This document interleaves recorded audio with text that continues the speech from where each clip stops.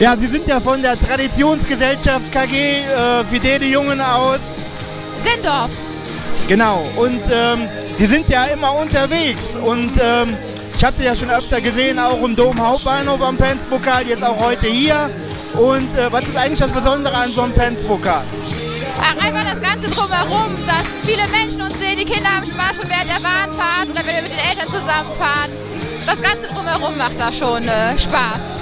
Ist das vielleicht auch, auch das Besondere, dass bei so einem Penzpokal alle gucken und nicht nur wie bei einer Sitzung so äh, Leute, die dann Eintritt bezahlt haben? Ja, da, die bleiben ja alle stehen. Also gerade im Hauptbahnhof ist ja alles das, was da Durchgangsverkehr ist. Die bleiben alle stehen, machen Fotos, filmen, sprechen uns an und da haben auch die Kinder ihren Spaß bei. Gibt es eigentlich für Sie einen Unterschied zwischen Hürthpark und einem Hauptbahnhof oder ist das hier so ähnlich? Äh, wir waren jetzt das erste Mal hier im Hürthpark, ähm, aber ich denke, das ist schon sehr ähnlich. Ja. Gibt es eigentlich äh, noch mehr Veranstaltungen so in der Art? Nicht, dass ich wüsste. Ich Also, kenn's Pokal und hier das jetzt. Aber hier sind wir, sind wir auch das erste Mal erst. wo seid ihr denn noch unterwegs dieses Jahr? Ähm, jetzt sind wir noch äh, am Samstag in Köln bei dem Tanzgruppen-Flashmob.